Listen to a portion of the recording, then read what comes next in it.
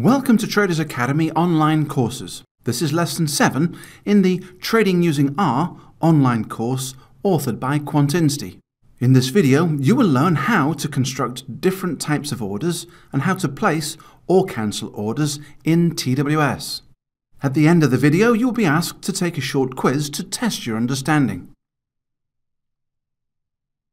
This function is used to obtain the next valid order ID for use with TWS.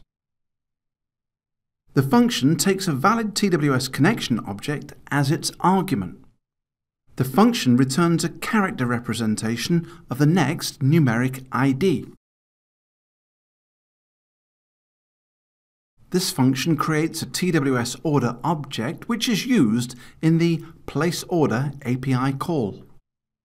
The function takes arguments like the order ID, action, the total quantity, order type, limit price, transmit, trail stop price, etc.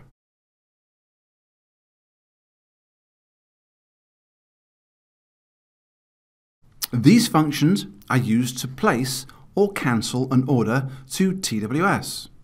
The functions take arguments like the TWS connection object contract, order and order ID.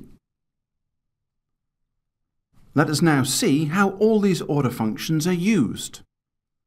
First, on lines 9 and 10, we check account details using the Rec Account Updates and TWS Portfolio Value functions. The TWS Portfolio Value function extracts commonly used fields from all positions held into a data frame. On line 13, we define a contract using TWS stock function.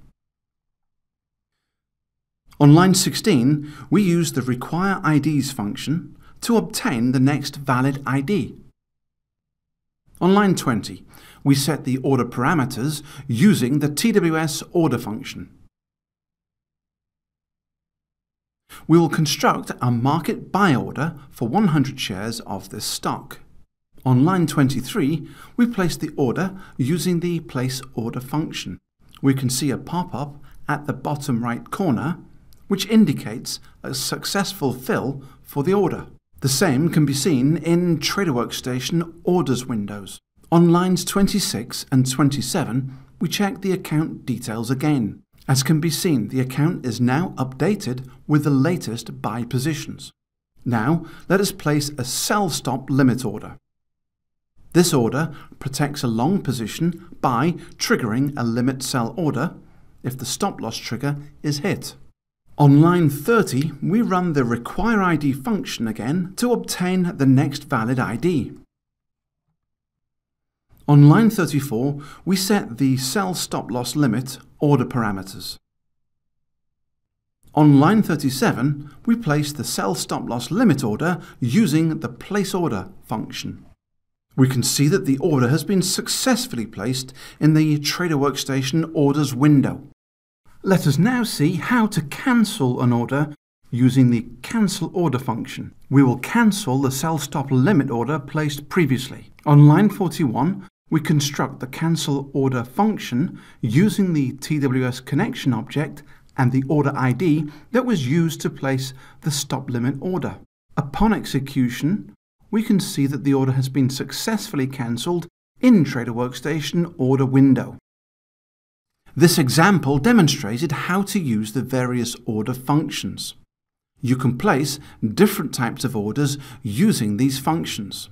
This concludes the seventh lesson in the Trading Using R online course.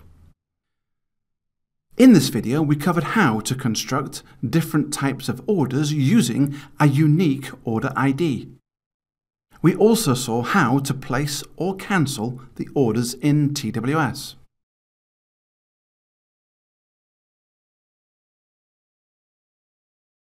When you continue, we will give you a short quiz to test your understanding of the topics we covered in this lesson.